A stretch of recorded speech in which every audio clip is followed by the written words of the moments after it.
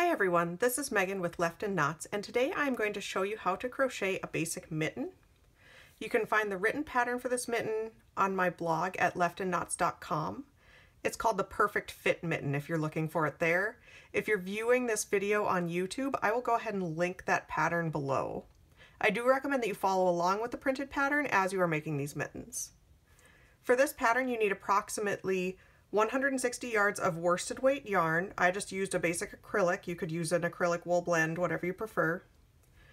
A 5 millimeter crochet hook, or an H hook. A scissors, and a yarn or tapestry needle. The right and left-handed version of this mitten is the same, so I'm just going to walk you through making one mitten, and then you'll use the exact same pattern for making a matching pair. I hope you enjoy this pattern you can find the rest of my video tutorials on YouTube, and you can find over 100 free crochet patterns, including several other mitten patterns on my blog, www.leftinknots.com. So now we're going to get started. So to start this mitten, we're going to work from the top down, meaning we'll start at the fingertips and work down to the wrist. So to begin, we're going to start with a magic circle. I'll do it slowly in case you're not familiar with it, but if you need more help with the magic circle, I will link that video tutorial that I have also along with this video. I do my magic circle by wrapping it around two fingers and crossing my working yarn over the tail on the top of my fingers, inserting my hook, pull that yarn underneath, yarn over with your working yarn, pull through that loop and then pull it tight. Then you've got your yarn on your hook and you're going to work your first round into this circle.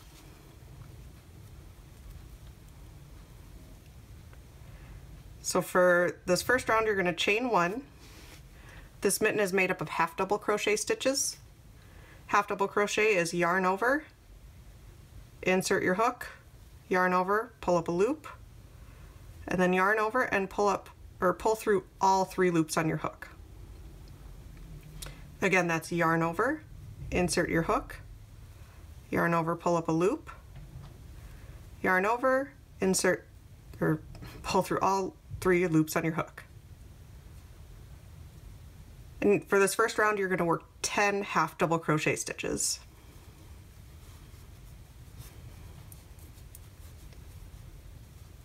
I'm working with a fairly tight tension for these mittens because I want them to be warm. Um, the written pattern will also be linked along with this video, so please do check your gauge. Otherwise your mittens might end up bigger or smaller than mine.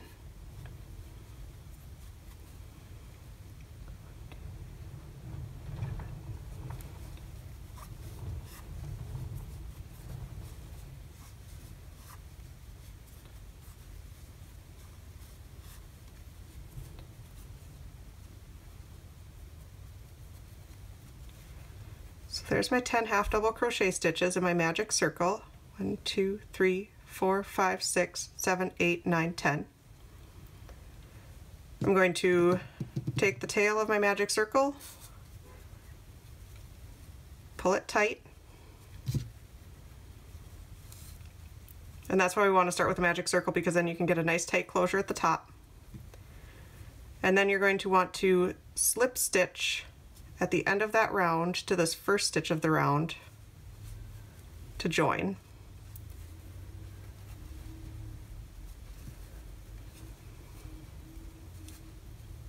If this hole loosens up as you work, that's not a problem. Um, when you go to weave in your ends at the end, just pull it nice and tight one more time and then weave in your ends and it should hold tight. On to round two. Round two, we're going to do increases. So we're going to chain one again,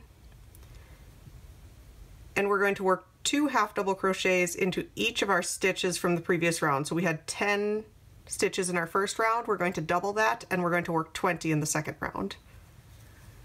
So that's looks like this, yarn over, insert your hook into the stitch, same stitch you slip stitched into, pull through the stitch, yarn over, pull through all three, then you're going to yarn over, go back into that same stitch one more time,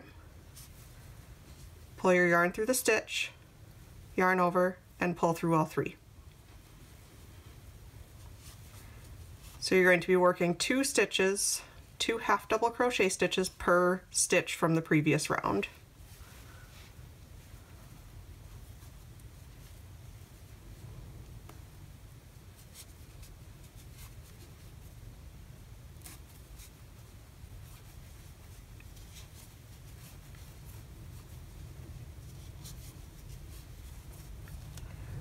Now you can see here my hole has opened back up again. I'm not going to worry about that until I go to weave in my ends because you can just keep pulling it tight. Now I'm at the end of my second round and I'm going to find that first stitch of the round and again go through there and slip stitch right into that first stitch. So that's your insert your hook through the stitch, yarn over and then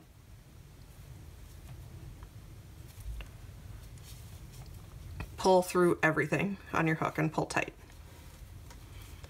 Now we're going to have one last round of increases before we start just maintaining our stitch count around. Now for round three I'm going to chain one. And then I'm going to work still increases but this time I'm going to work two half double crochets in this first stitch, one in the next, two in this stitch, one in this stitch. And you're going to repeat that pattern all the way around two one two one two one. Um, so you're going to end up with 30 stitches around so that looks like this. Half double crochet in that first stitch, yarn over, insert your hook into that same stitch you just worked into for another half double crochet. Now you're going to go to your next stitch with one half double crochet. Now your third stitch of the round, you're going to, going to do another increase with two, so one, and then go back into that same stitch with number two. And then you'll work one half double crochet in this next stitch. Now I'm going to continue that pattern around until I get to the end of round three.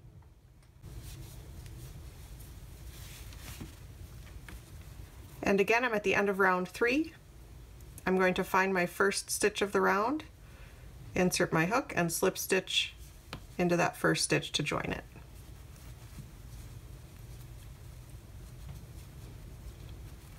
Now for round four through 16, I'm going to be just crocheting one stitch per stitch around. So we're going to maintain that 30 stitches around stitch count until round 16. So you're going to chain one and then just work one stitch per stitch of your previous round so no more increases.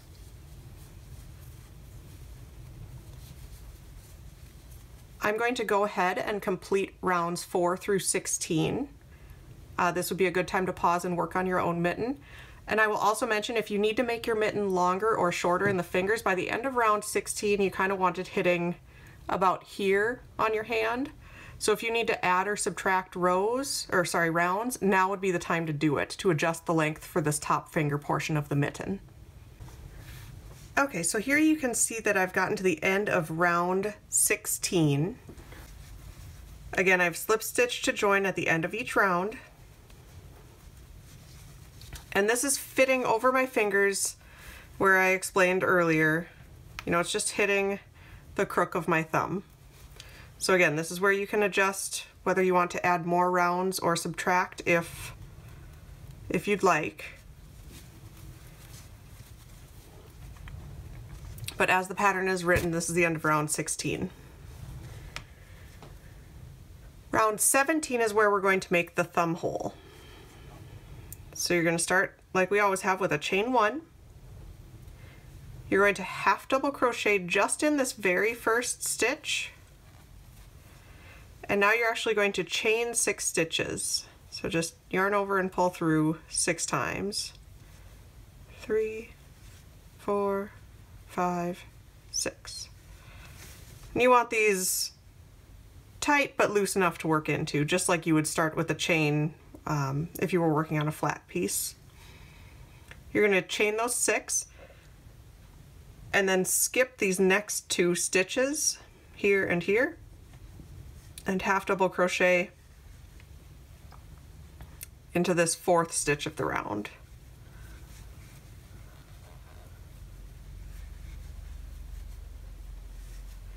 Now you're just going to keep half double crocheting around to finish off this round.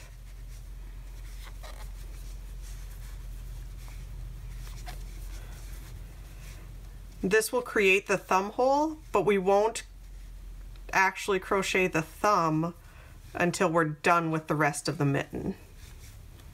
The thumb kind of gets added at the end.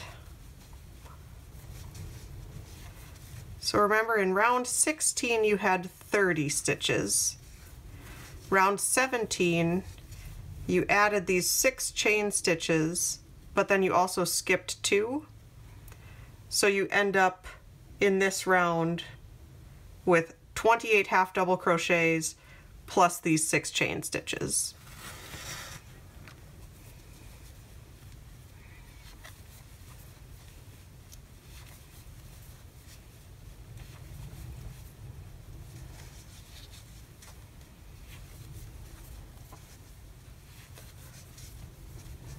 Get to the end and then again you slip stitch into this first stitch of the round and pull tight.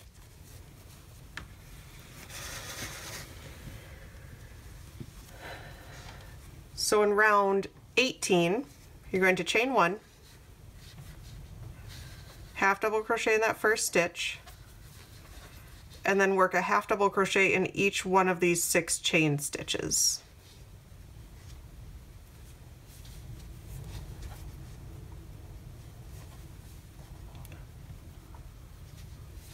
You can just grab one loop or you can grab both loops. It doesn't really matter because this is where we're going to be attaching the thumb as well.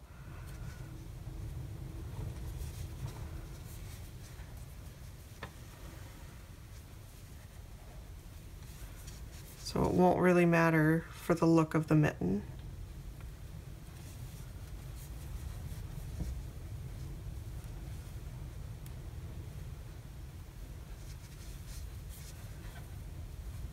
See I've done one, two, three, four, five, six, seven. Now I'm going to continue to half double crochet around the rest of this round. One, one half double crochet per stitch still. So I just finished round 18. I'm going to slip stitch again.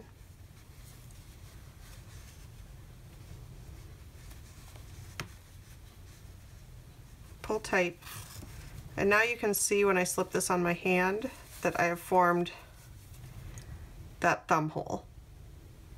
So this is where we're going to, once we get to the done down to the wrist of the mitten, then we're going to come back and add this thumb.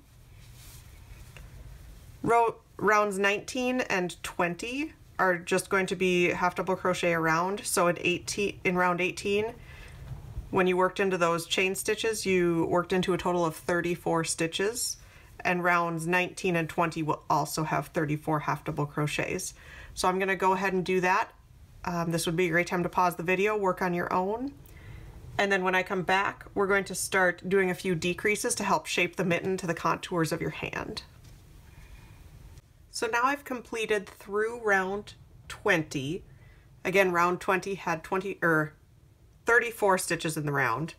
Now we're just going to do a little decrease in this next round to start tapering the mitten in along this wrist part of your hand. It's not a ton of counting, but we're going to do a little bit of counting with our stitches here. So I'm going to chain one for round 21, and then I'm going to half double crochet in the first six stitches. One, two, three,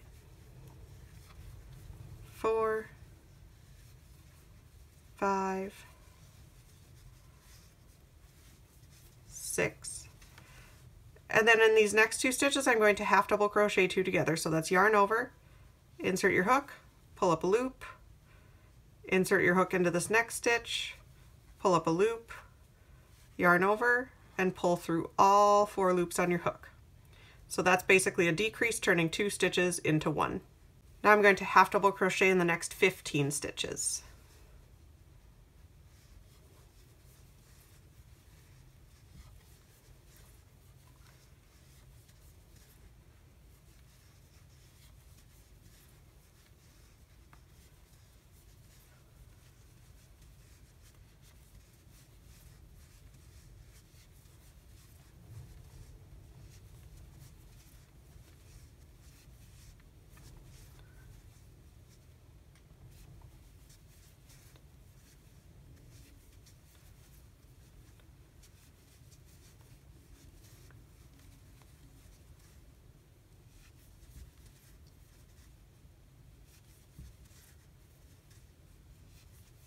15.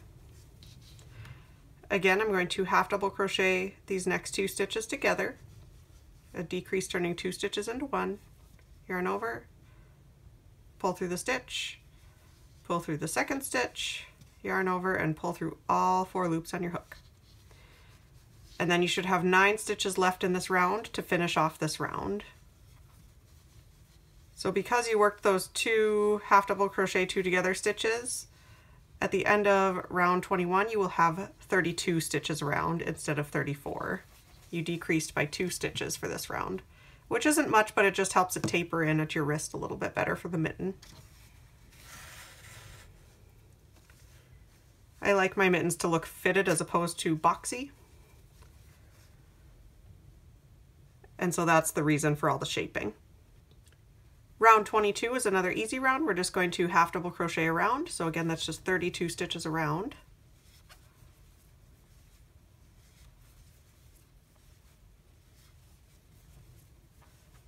These mittens are a great starter piece for learning how to make mittens. I do have a lot of other free mitten patterns on my blog that incorporate different stitches, cuffs, um, just different accents that you can add to them to make them look a little bit more complex. They all follow, at least so far, they all follow the same top-down pattern of construction. Um, stitch counts and things like that vary.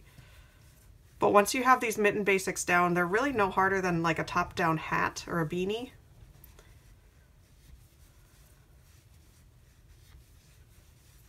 And they're a lot of fun to play with, and they're a relatively quick project. They don't require much yarn. They make nice gifts, and I just personally like having several pairs of mittens around the house because I always seem to be needing them. I get my daughter dressed and bundled for the snow, and then I forget to dress myself beyond a coat.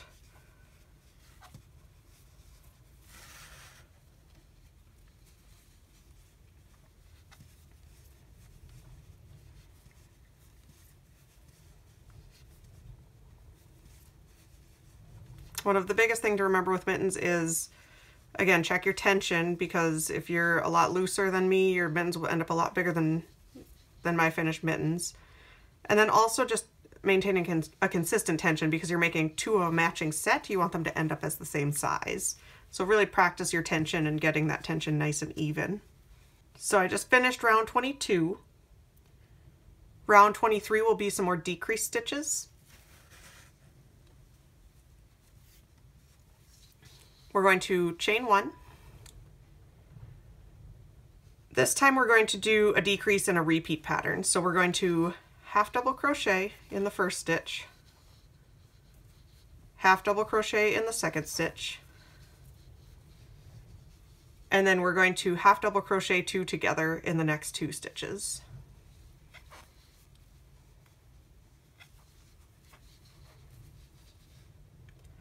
And that's what we're going to repeat around. So again, that repeat is half double crochet in one, half double crochet in the next, and then half double crochet two together.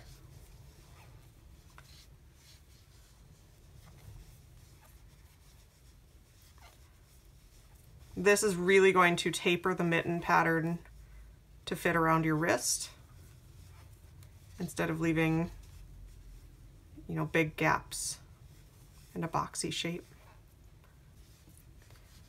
You should end with that same repeat, one half double crochet, another half double crochet, and then half double crochet two together should get you right to the end of your round.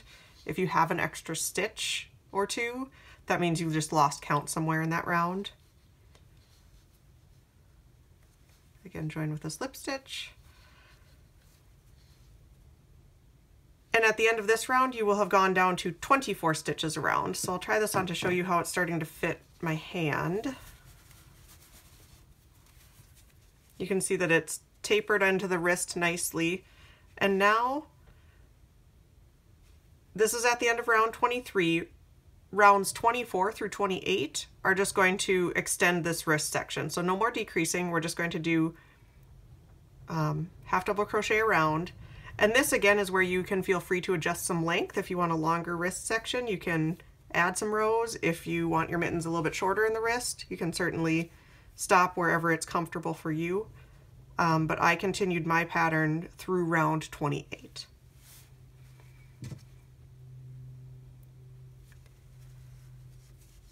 So round 24, we're going to chain one and just half double crochet, one half double crochet in each stitch of the previous round. I will go ahead and complete this. This would be a good time for you to pause and work on yours through the next few rounds. Again, I'm going to stop at round 28. And then when I come back, I will show you uh, where I got to, and then I will show you how to attach the thumb onto your mitten. Okay, so here you can see I've finished through round 28 and it's gotten me to finish my wrist section of my mitten. You can see how it tapers in nicely so it fits close to my wrist. And like I said, you can adjust the number of rounds here to your preference for however long you want that wrist section to be. Once you get done with that part, you're going to cut your yarn and tie off your end. We'll worry about weaving in ends later because we'll still have a few more to do on the thumb. Attaching your thumb is also customizable in size to your preference, however tight you want it to be around your thumb. You're going to work obviously in this space. Insert your hook. I always like to insert my hook in one of these stitches up here.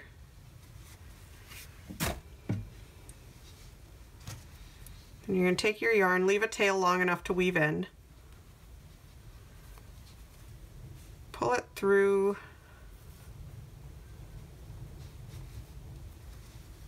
And just do a quick slip stitch to pull it tight. Now you're going to chain one, and that slip stitch will, will come loose again a little bit until you weave in those ends. But you're going to chain one and half double crochet into that stitch that you just attached your yarn to. Again, keeping that tight tension we've been working with for this project. Now for the thumb, I'm going to start with 14 stitches worked around this space. You may need to work in some untraditional spaces like the posts of a stitch um, to achieve that number. Just work them evenly around so that you don't have gaps because you don't want to leave a big gaping hole here at the end. That's number two.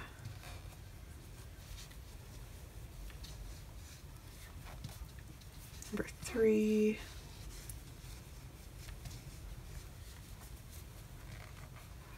Four. And again, you're going to be working into some non-traditional spaces, and that's okay. Five.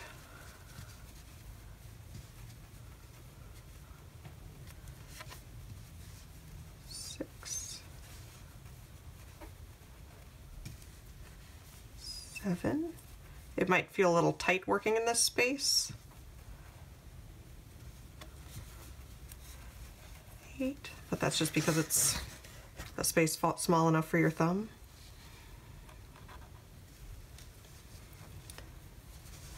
Nine. Ten.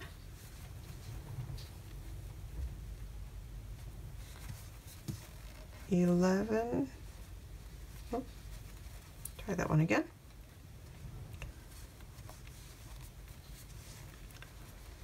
Eleven, twelve,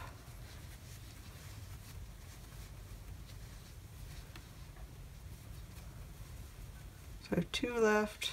I'll work one there. Thirteen. And one here for number 14. So again, you can see how I kind of just picked picked spaces around. I don't have any big gaping holes left around. If you find that 14 stitches is too wide or too narrow for your thumb, you can go down to 12 or up to 16 around this space here. Again, just space them out evenly. And then you're going to find that first stitch that you worked around in the thumb. Slip stitch to join and pull it tight. So you'll have this tail to weave in at the end now too. Now for five more rounds. So this was round one. Through round six, I'm just going to chain one and half double crochet around through round six. And again, your stitch count is 14 if you're following the pattern. And then I'll come back and show you round seven where we decrease for the tip of the thumb. So here I am at the end of round six for my thumb. You can see that it almost reaches the tip of my thumb. There's a tiny bit left. This is another good place to adjust in number of rounds if you want to make this longer or shorter. You can certainly do more or less than six before you start the decreases to make the tip of your thumb. As the pattern is, is written, round seven, you will start your decreases. Since you started with 14 stitches around, you're going to end up with seven stitches at the end of this round. So you're going to do half double crochet two together all the way around for this round seven. So you chain one, half double crochet two together, yarn over and pull through all the four loops. And you're going to continue working two stitches into one all the way around the tip of the thumb, remembering to keep your tension nice and tight.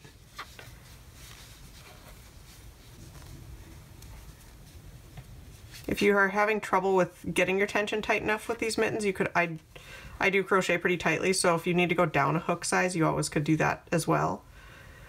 But when you get to the end of your half double crochet two togethers for that round, you're going to slip stitch back into that first stitch of the round.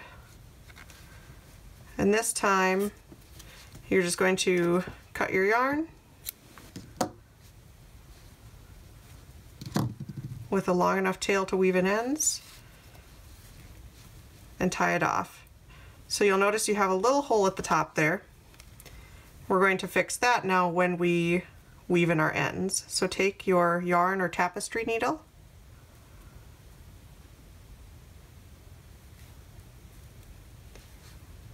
And then this with this tail, you're going to work your tapestry needle back and forth through each of those seven stitches of that last round.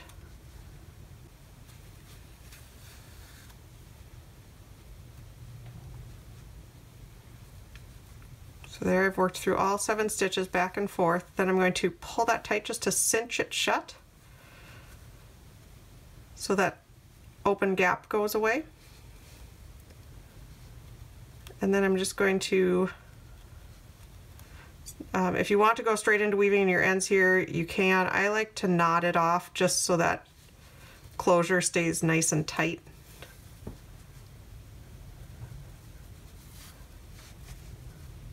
so I like to do a simple knot first and then weave in my ends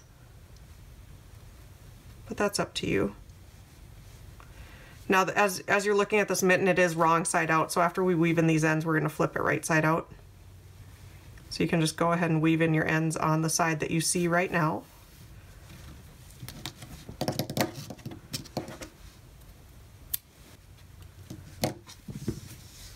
Again, at the top closure with this magic circle, you want to make sure that's pulled nice and tight before you weave in your ends.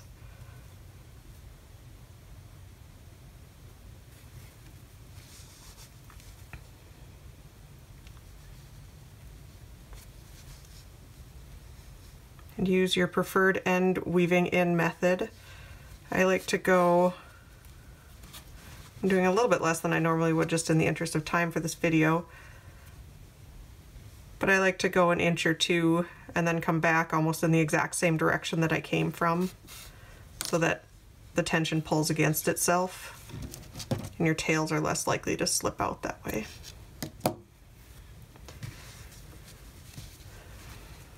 So four ends to weave in on a mitten, not too bad.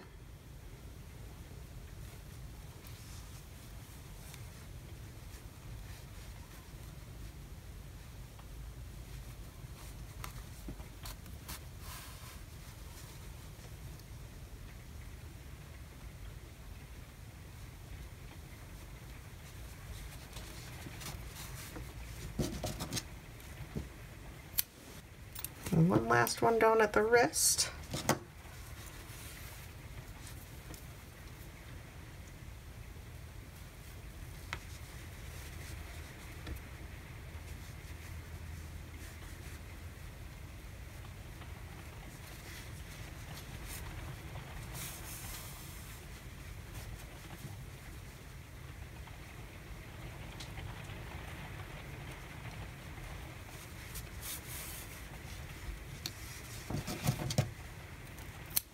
Cut it, and now you're ready to turn your mitten right side out.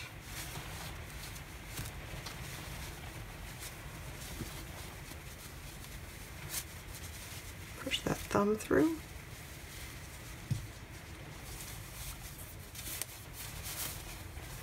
And there you have your basic crocheted mitten. Remember, I do have a lot of other free mitten crochet patterns available on my blog at leftinknots.com, along with the written out version of this pattern. It's called the Perfect Fit Mitten, and I will link it below if you're viewing this on YouTube. I also have over 100 other free cro crochet patterns available, so please go check me out. Again, that's www.leftinknots.com. I hope you enjoyed this video tutorial, and I hope you'll be back for more.